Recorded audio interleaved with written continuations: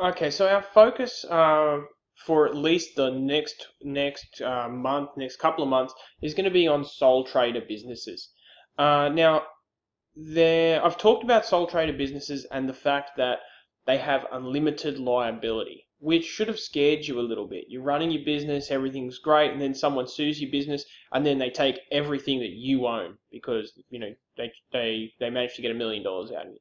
Um, so sole trader should have scared you a little bit, but there are definitely some positives to running a sole trader business.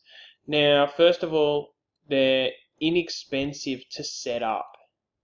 Inexpensive setup. Um, now, if you want to start up a private company or a public company on a stock exchange, very expensive, lots of compliance. You've got to go through lots of lots of um, checks and balances, things like that. Very very simple to set up. Now, uh, another one is that if you trade under your own name, you don't have to register that. So let's say I started a business called uh, Joel Speranza Mowing. Okay, if I start a business called Joel Speranza Mowing, I don't need to register that business name. Uh, now, if you do decide you want to call it something cool, like, um, let's just say no registration there if you want to call it something cool like um, rad to the max mowing, that's the coolest name I can think of right now. Now you do have to register that name. Now what is why are we registering names?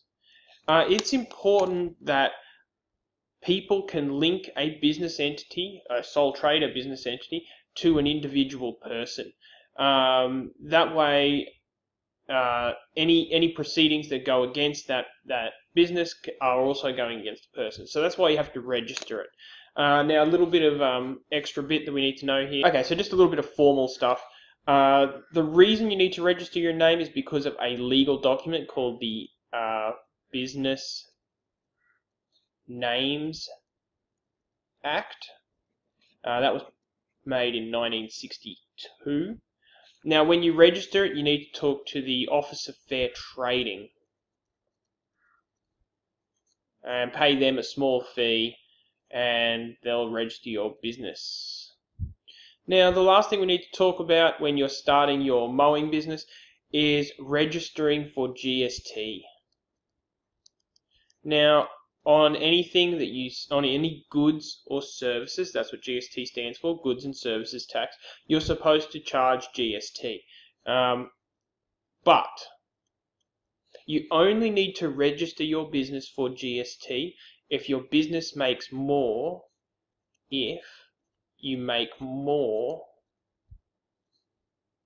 than $75,000 a year uh, that's a fair bit of. Um, uh, sorry, I should correct that.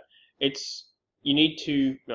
Uh, so the last thing we need to talk about is registering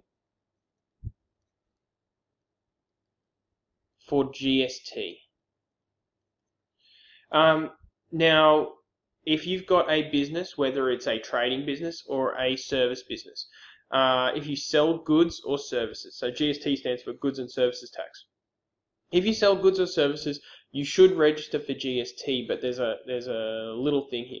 If you're only a very small business and you only make a couple of thousand, or you only collect a couple of thousand dollars a year, they don't bother with this. They don't bother with registering you for GST. So you have to collect a substantial amount of money before you have to register for GST, and there's a cutoff. So if annual turnover is over $75,000. Now, turnover just means the money that comes in. Uh, it doesn't mean profit. It means actually the amount of money that people are paying you. It doesn't doesn't matter if you've paid out a bunch of money. It doesn't matter if you're making a profit or not. If $75,000 comes into the business from people that are paying you, then you should register for GST. Uh, that's a very straightforward process as well. Okay, uh, that's establishing uh, establishing a sole trader business.